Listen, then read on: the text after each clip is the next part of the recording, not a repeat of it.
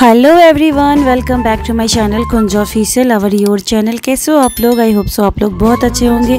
अगर आप मेरे चैनल पे पहली बार आए हो तो प्लीज़ मेरे चैनल को सब्सक्राइब कर लीजिए। नीचे बेल आइकन प्रेस ज़रूर कर ले, ताकि मैं जो भी नया वीडियो डालूँ, उसका नोटिफिकेशन सबसे पहले आपके पास जाए। आप सभी को मेरी तरफ़ से हैप्पी करवा चौथ, और आप सभी लोग अखंड सौभाग्यवती रहे, और हर साल ऐसे ही करवा चौथ का व्रत करें, और सजे धजे जो सोलह श्रृंगार है, वो सारे चीज़ करें। तो आज के ब्लॉग, आज का जो ब्लॉग है, वो है करवा चौथ पूजा ब्लॉग। आप लोग देख ही सकते हो, यहाँ पे करवा माता की फ़ोटो है और यहाँ पे देख सकते हो प्रसाद है, जो कि अर्घ दिया जाएगा। और उसके बाद यहाँ देख सकते हो, दो करवा रखा हुआ है, करवा माता की तस्वीर है और इसमें करवा भरा हुआ है, एक में चावल होता है और यहाँ पे कलश भी है, देख सकते हो आप लोग। और ये जो है, ये है अर्घ देने के लिए और यहाँ पे चलनी, देखो कितना खूबसूरत चलनी है और ये है, और यहाँ पे इसको बायना बोलते हैं जो कि सासू माँ को दिया जाता है सिंगार में। और फ़िलहाल यहाँ देख सकते हो मैं जुम करके आप लोगों को दिखा रही हूँ करवा माता की तस्वीर को। बहुत ही भव्य लग रही हैं, बहुत ही सुंदर लग रही हैं। और अब मैं दिखाऊँगी जी हाँ किचन में क्या क्या खाना बना है। तो ये है आलू भरा पूरी बना है। और सेंधा नमक पे, और ये खीर है, और यहाँ पे आलू गोभी की सब्ज़ी बनी हुई है। देख सकते हो आप लोग। ये है लता की है करवा चौथ का व्रत। तो मुझे भी करने का बहुत मन है, लेकिन देखते हैं कब करते हैं। और इनका ये पहली बार है तो ये अपने राता राता बोल, बोला जाता है, शादी के जोड़े को। हम लोग के यहाँ बिहोती बोलते हैं, और इधर राता मगह में बोला जाता है। तो पहली बार ये उठा रही हैं। और यहाँ पे देख सकते हैं बायना है, यहाँ पे छत है। और ये अर्घ देने के लिए सारा कुछ है, चलनी देख सकते हैं। यहाँ करवा माता की तस्वीर में जूम करके थोड़ा सा आप लोगों को दिखाऊँ। तो ये है करवा माता का, देख सकते हो आप लोग। और करवा भी रखा हुआ है। और यहाँ फिर से दुल्हन को दिखाते हैं, नई दुल्हन। रुके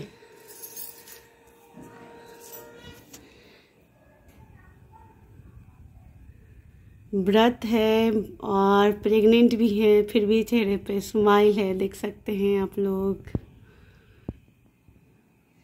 पनीर खाऊँगे तब भाइयों ने सोचा कि चाँद उगने तक बहन भूखी रहेगी तो हम एक भाई ने दिया जलाया, दूसरे भाई ने छलनी लेकर उसे ढका और नकली चाँद दिखाकर बहन से कहने लगा कि चल चाँद उग गया है अर्घ दे ले। बहन अपने भाभीियों से कहने लगी कि चलो अर्घ दे दो।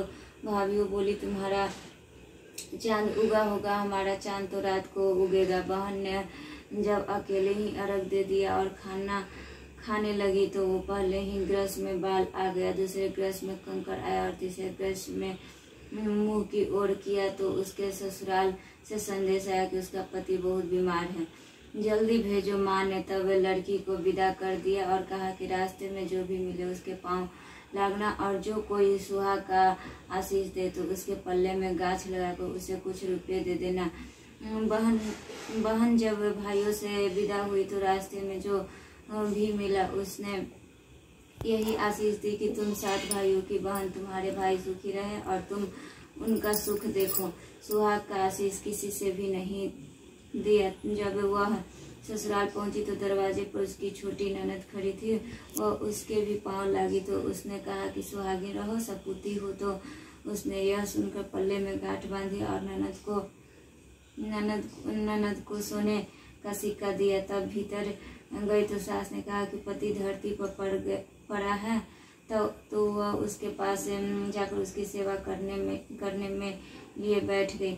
बाद में दासी ने हाथ बची खुची रोटी भेज दी। इस प्रकार से समय बीते, बीतत मृंग सिर मार्गशीर्ष की चौथ आई तो चौथ माता बोली, करवा ले करवा ले, भाइयों की प्यारी करवा ले। लेकिन जब उसे चौथ माता नहीं दिखाई दी तो वह बोली, हे माता, आपने मुझे उजारा तो उजारा तो आप ही मेरा उद्धार करोगे।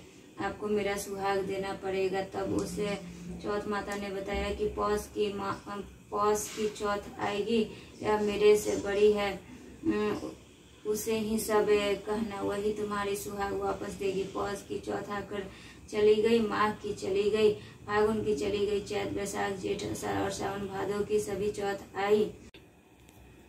आई और कहीं कहकर चली गई कि आगे वाली को कहना आसिन की चौथ आई तो उसने बताया कि तुम पर कार्तिक की चौथ नाराज़ है, उसी ने तुम्हारा सुहाग लिया है, वही वापस कर सक सकती है, वही आएगी तो पाँव पकड़ कर विनती करना, यह बताकर वह भी चली गई। जब कार्तिक की चौथ आई तो वह गुस्से में बोली, भाइयों की प्यारी करवा ले, दिन में चाँद उगानी करवा ले, व्रत खंडन करने वाली करवा ले, भूखी करवा ले तो यह सुनकर वह चौथ माता को देखकर उसके पाँव पकड़कर गिर गिराने लगी।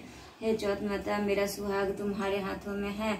आप ही मुझे सुहागिन करो। तो माता बोली, पापिनी हत्यारिनी मेरे पाँव पकड़ कर क्यों बैठ गई?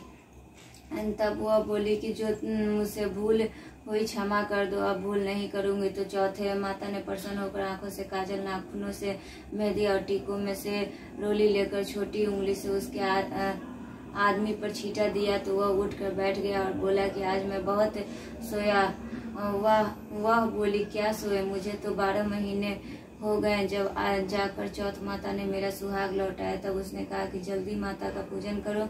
जब चौथ की कहानी सुनी करवा का पूजन किया तो प्रसाद खाकर दोनों पति पत्नी चौपंड, चौपड़ खेलने बैठ गए। नीचे से दासी आई, उन दोनों को चौपट पासे से खेलते देखा तो उसने सासू जी को जाकर बताया, तब से सारे गाँव में यह बात प्रसिद्ध हो गई कि सब स्त्रियाँ चौथ का व्रत करे तो सुहाग अटल रहेगा। जिस तरह से साहूकार की बेटी का सुहाग दिया, उसी तरह से चौथ माता सबको सुहागे रखे। यही करवा चौथ की उपवास की सनातन महिमा है। करवा चौथ।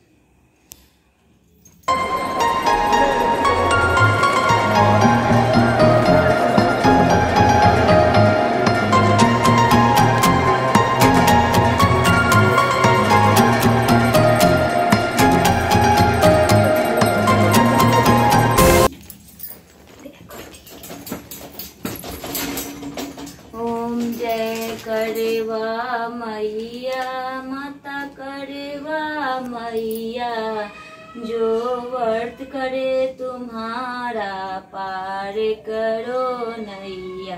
ओम जय करेवा मैया, सब जग की हो माता तुम ही हो रुद्रानी। मैया तुम ही हो रुद्रानी। यस तुम्हारा गावते जग के सारे प्राणी ओम जय करवा मैया।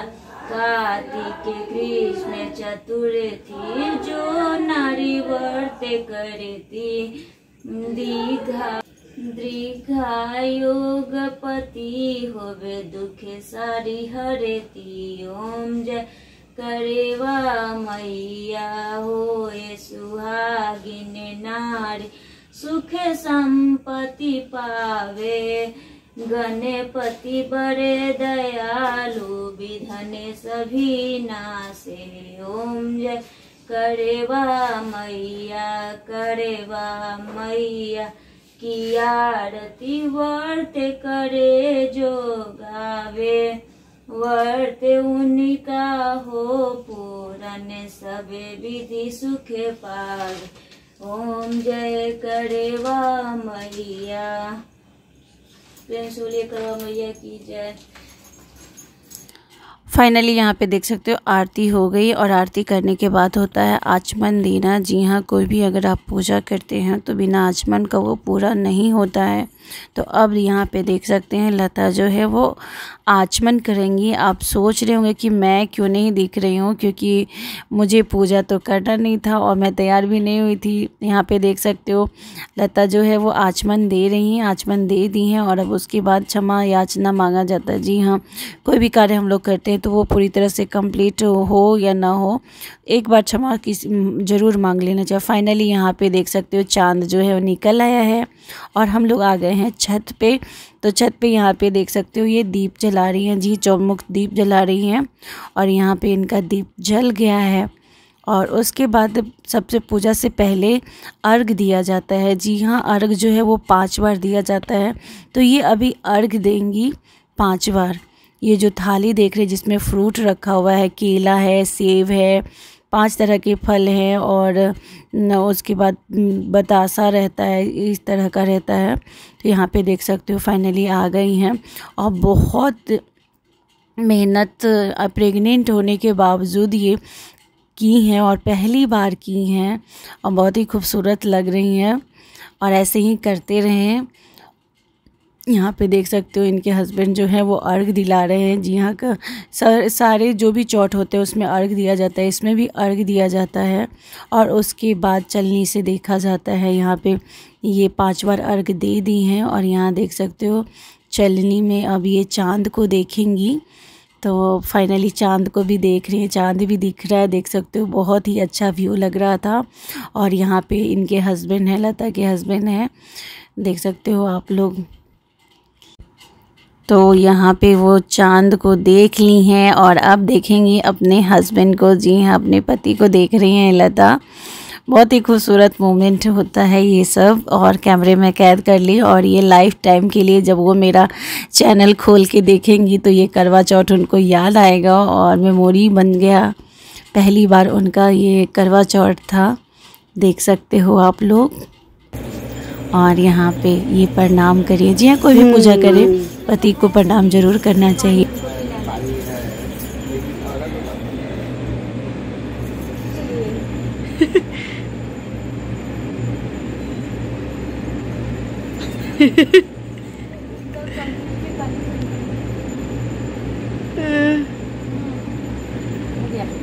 Please like, share and subscribe my channel. Thanks for watching. Keep support.